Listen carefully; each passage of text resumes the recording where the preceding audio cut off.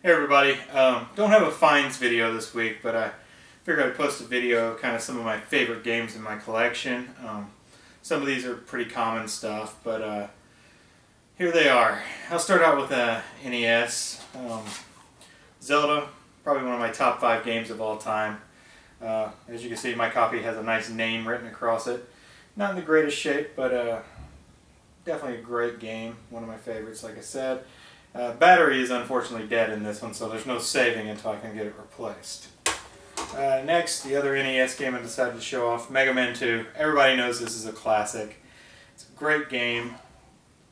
Just, I can't really say much more about it. It's just a great game. You all know that. Alright, next we'll go to uh, Super NES. Um, another Zelda game, Link to the Past. This is my favorite game of all time. I've probably played it a hundred times, beaten it a hundred times. Great game. If you don't have this uh, and you're collecting SNES, I don't know what's wrong with you. Chrono Trigger. Obviously a rare game to find. Um, got this at a yard sale last year, I think. Only paid two bucks. It was like the best deal I've ever found, obviously. Um, great game. Probably my top 10 of all time. And pretty great part of my collection. Label's a little wacky on it, but still great find for me last year. And uh, my second favorite game of all time, Final Fantasy II. SNES, of course, Final Fantasy IV in Japan, but they didn't bring it over here and called it 2 for some reason. But great game, great story. Everybody says Final Fantasy III is better. I don't know. I've never played through Final Fantasy III, so this is my favorite for now. Alright, we'll move over to uh, Nintendo 64. Only one I chose for it, Ocarina of Time one of my top five games of all time also. Also, so you know you got like Link to the Past, the original Legend of Zelda, and Ocarina of Time in my top five all time. So there's that one. Original gold card. Bought this when it first came out way back. All right. Next we go to Genesis. Shadowrun. Absolutely one of the greatest games you'll get on Genesis. They made a Super Nintendo version. I prefer the Genesis version. But uh, this is a great game. Still got the hang tag manual, which is weird because it's a black and white manual. But uh, great game. Check it out if you haven't ever played it. Alright, next we'll go to uh, PS1. Uh, pick some from PS1. Final Fantasy VII, classic. If you don't have it, haven't played it, definitely need to check it out. Maybe it'll get an HD remake sooner or later. I really don't care if it does or not. It's great this way. Resident Evil 2. It's a great game. Um, I like the first one also. I just decided to go with two as one of my favorites. It's a great game. Two different scenarios. You got to play through both scenarios for sure. Um, great story, great gameplay. One of the best games to ever come out on PS1.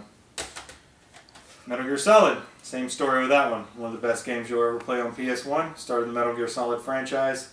It's a great, great game. And lastly, it's a game called Overblood. Unfortunately, I'm missing the manual for this one. I bought it this way. Uh, this is probably going to be considered a bad game, but uh, this Game Informer crew did a super replay on this game, and I had already played it, and that super replay is hilarious. So if you get a chance to check it out, you got to check it out.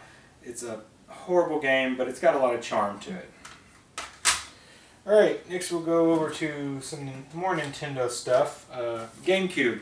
Eternal Darkness. This is an insane game, but it's actually pretty great, and it's probably one of the better looking GameCube games you'll find. Um, they were trying to get a sequel made to it, but some stuff happened. It doesn't look like it's going to happen, but check this one out if you haven't. It's a great little survival horror, kind of like freak you out game. Definitely check it out. Uh, a couple Wii games I thought I'd show. Mad World and Zack and Wiki. I don't think you could get much farther apart than these two. This is a mature game. This is a game that's E for everyone. Uh, Zack and Wiki is a puzzle game. It's a really great game. A lot of people never played it, but it's it's really fun. It, it looks kiddie, but it's actually a pretty complicated game. Mad World, on the other hand, is basically just a hack and slash type game. You're part of a crazy game show where you pretty much have to inflict the most gore you can. But the interesting thing about this is it's in black and white, and all the blood effects are in red, of course. Very cool game. Definitely should check this one out.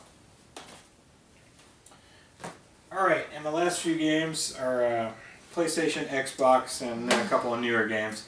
Uh, Jak and Daxter, one of my favorite series. I think it's probably my favorite PlayStation series of all time. This is the original one. I thought this one was the most fun. It's kind of a collectathon, very cool game. check this one out if you've never played it. You'll like it. There's also an HD collection out on PS3 that you can get, and I think it's on Vita too.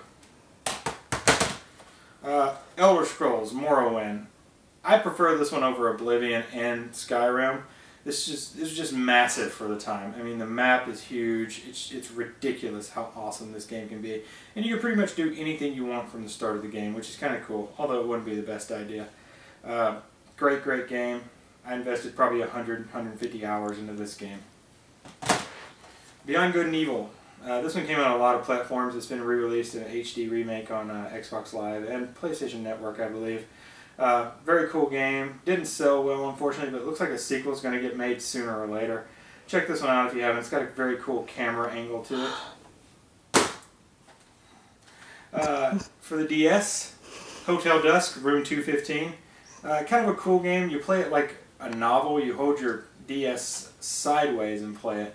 Um, kind of a little mystery game. It's not particularly difficult, but there's some stuff that's pretty cool in here. Uh, kind of a noir thriller type thing. And lastly, uh, PlayStation 3 game actually. This is the Journey Collector's Edition. It comes with a couple extra games, but Journey was probably my favorite game of last year. If you haven't checked out Journey, definitely do. And you have to play it while online because it kind of gives you a little surprise. And if you haven't heard heard about the surprise yet, obviously you should play it. But even if you have, you should play it anyway. Great game.